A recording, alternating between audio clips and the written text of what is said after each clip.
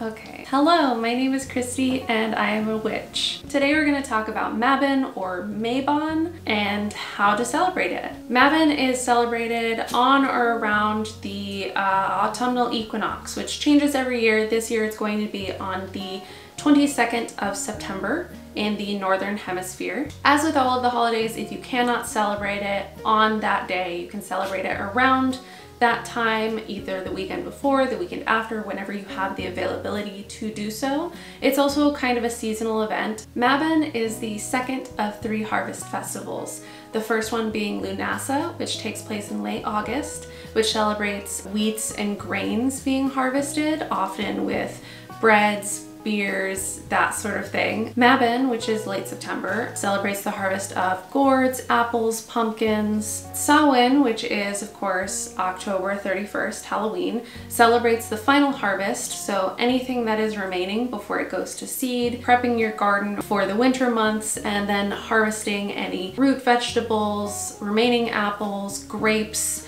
berries, nuts, Mabon is known or celebrated as a witch's Thanksgiving. Um, because it's such a bountiful harvest, there are all of these gourds and apples. It is celebrated with a feast. Because we're kind of anticipating the upcoming winter months around this time and for all of the uh, plant life to die off, it's actually a really good time to set intentions for things that you want to have less of or decrease. Unhealthy habits, relationships, things that you just kind of want to let go of. Maybe I'll finally um, put the intention out to stop biting my nails whatever it is that you want um, less of, now is actually a good time to put that intention out there. Let's talk about a couple of ways you can celebrate Mabon. My personal favorite way is to decorate with autumnal decor. Fall leaves, seasonal flowers, gourds, pumpkins, pine cones, acorns, whatever you have access to. They can be real, they can be fake,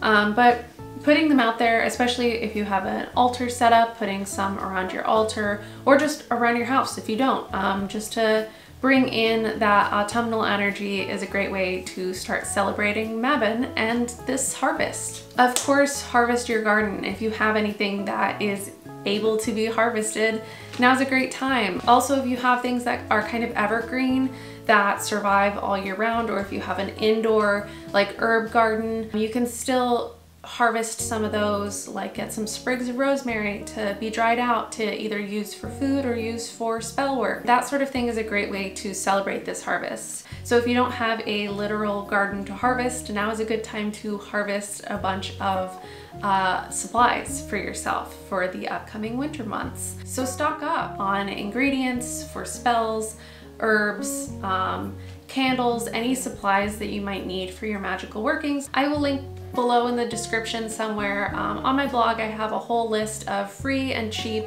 resources for spell supplies. So you can find some resources and some inspiration on how to free or cheaply uh, stock up your witchy supply cabinet. Apple season magic. Apples, apple wood, apple blossoms have such a deep rooted history in magical workings. From love to healing to manifesting abundance, connection to the underworld or the spirit realm. Apples have so many different uses. So here are just a couple of ways that you can use apples for Mabon.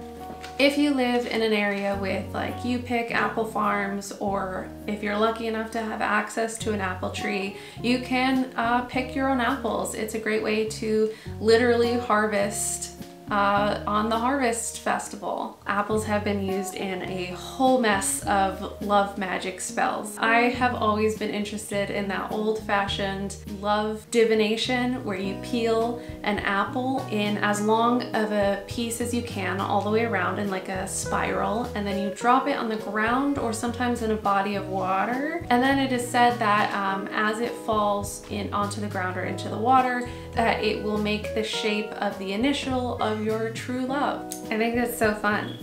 I love that. If you cut an apple in half where the core is, inside of it is a star. It's a pentacle. Another great way to use apples for your Mabon celebration is to dry them in an oven and use them as decoration. So cut them uh, horizontally to the core and then dry them in an oven. And you can use those to decorate your altar or your Mabon table if you're having a feast. You can also use apples and maybe some cinnamon and some other uh, spices, maybe anise, um, to make a uh, simmer pot to welcome in your Mabon Feast guests. Whether it's just you, your friends, your family members, your coven, whoever you're having over, you can make a nice welcoming Mabon simmer pot. When you cut into your apples, whether you're just eating them or uh, baking with them or if you're going to dry them, uh, one thing that you can do is collect the seeds. You can either try planting them, have your own apple tree if you have the space for that,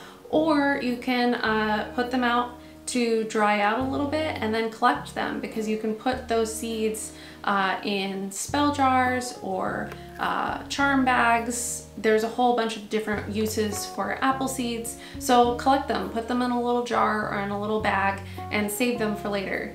Of course, there is always cooking and baking. You can cook with apples, pumpkins, gourds. Every year I make this like butternut squash soup you can make pies, breads, anything with seasonally harvested fruits and vegetables. You can host a feast or a potluck. This year I'm going to be celebrating Mabon with my family who are not witches, but they are there for the food, which is fine with me. A potluck is also a great way to celebrate because it's a little bit less pressure on you to make a whole meal, but also it is a celebration of sharing and abundance and being thankful because it's the witches Thanksgiving, being thankful for one another and showing your thanks with your uh, harvest, whether you got it from the grocery store or not.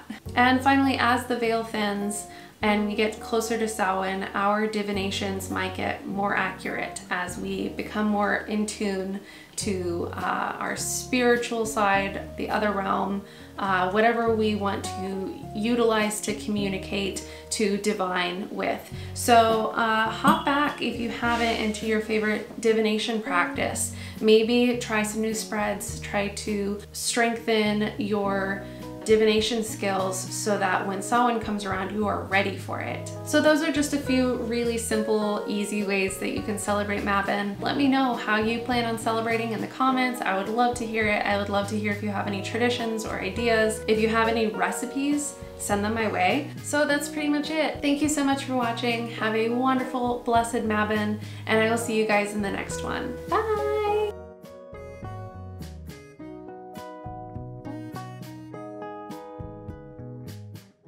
Not a lot of dog content.